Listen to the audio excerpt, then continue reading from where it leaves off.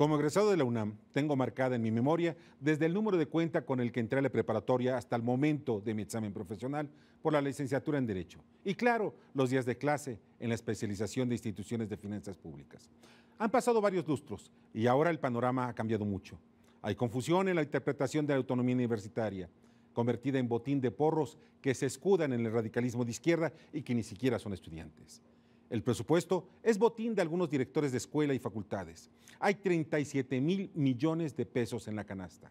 Además, delincuentes de todo tipo impiden a los estudiantes aprender y luchar por salir de la pobreza, en algunos casos, o mejorar su condición social y económica. Desde hace algunas décadas, la UNAM es botín de políticos de todas las corrientes y la Rectoría nada de amuertito para no enfrentar la caída en el nivel académico. ¿Esto cambiará con el nuevo rector o rectora? Hoy escucho la autocrítica de quienes aspiran a ese honor, pero pasarán a los hechos.